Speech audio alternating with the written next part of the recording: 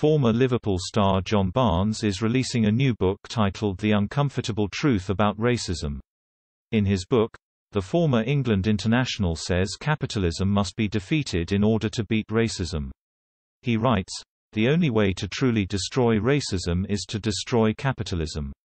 The only way to achieve true equality for all is by creating a socialist society, and that's not about to happen whether we think it should or not. Barnes has emerged as a prominent speaker when it comes to issues of race.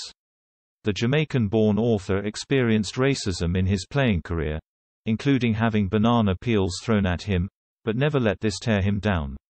He also intervened in the racism debate surrounding Meghan Markle and the criticism she has faced since becoming a member of the royal family.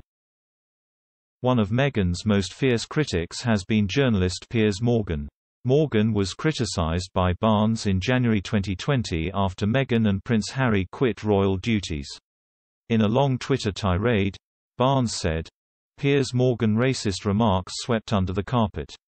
GMB don't have topics on racism unless you're willing to truly discuss the topic when something is right in your face. He added, a real topic of racism to be discussed on GMB. Piers language is ignored.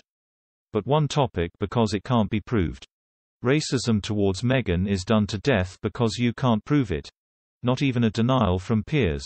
Not important. Wonder why. Hmm.